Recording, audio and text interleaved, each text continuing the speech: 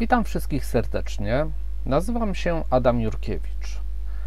Jestem ambasadorem języka programowania Python w Centrum Edukacji Obywatelskiej w takim projekcie Koduj z klasą. Jestem pasjonatem technologii, głównie otwartego i wolnego oprogramowania, wolnościowego. I jeśli ktoś jest zainteresowany, to zapraszam na Facebooka. Tutaj jest mój profil. Można sobie spokojnie mnie odnaleźć i jakoś tam zagadać. To wszystko, co będę chciał pokazywać tutaj w moim materiale, w moich webcastach, to będzie Python. Python w zastosowaniach edukacyjnych.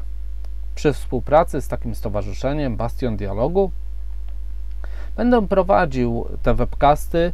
Postaram się, aby nie były one zbyt długie, żeby każdy mógł spokojnie zobaczyć kilka rzeczy, nie poświęcić zbyt wiele czasu, żeby było to dla Was y, jakimś materiałem do inspiracji, żebyście mogli wyciągnąć z tego coś dla siebie. Oczywiście to wszystko, co tutaj widzicie w tej chwili na tym ekranie, to nie jest Windows. Tak, to jest system operacyjny, który nazywa się Linux i ja jestem fanem tego systemu operacyjnego. Używam go od kilku lat z powodzeniem.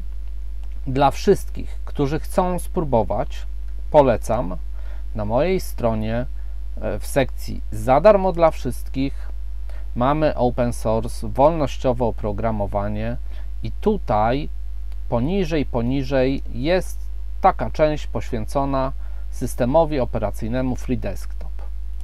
To jest taki remix Linuxa, który ja tworzę dla edukacji. Każdy może go sobie stąd pobrać.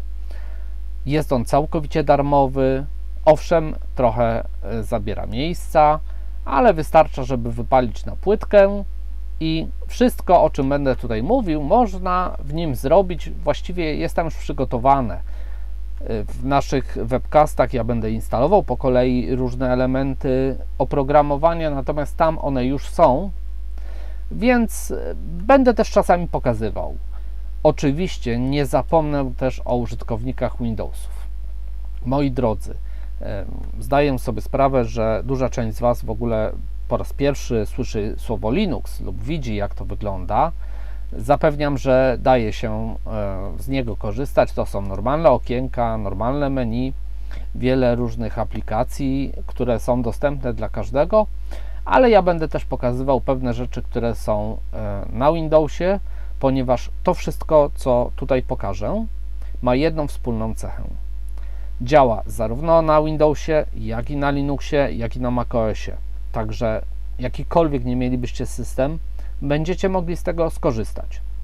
Oczywiście może to troszkę inaczej wyglądać. Ja to rozumiem, dlatego postaram się co jakiś czas pokazać, jak to wygląda w różnych systemach. Natomiast głównie będziemy działać w systemie Linux. Zachęcam oczywiście wszystkich, żeby sobie ode mnie ten Linux, który ja robię, pobrali, zainstalowali, spróbowali. Nie gryzie, zapewniam Was.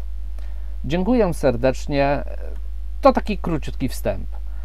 W kolejnych odcinkach y, przejdziemy przez instalację Pythona. Przepraszam, w Linuxie nie musimy, bo on już tu jest. Mm, ale dla innych systemów trzeba go zainstalować. Także bądźcie w kontakcie. Zapraszam na mój profil na Facebooku. Jeśli chcecie się ze mną kontaktować, zapraszam do strony bastiondialogu.pl. Tutaj będziecie mogli czytać a jeśli ktoś byłby mocno zainteresowany, to kliknijcie sobie na słowo edukacja i poczytajcie. Mamy taki projekt, możemy przyjechać do Was do szkoły, spotkać się z Wami, różne ciekawe rzeczy Wam opowiedzieć. Myślę, że warto. Dziękuję serdecznie i do usłyszenia w przyszłych odcinkach.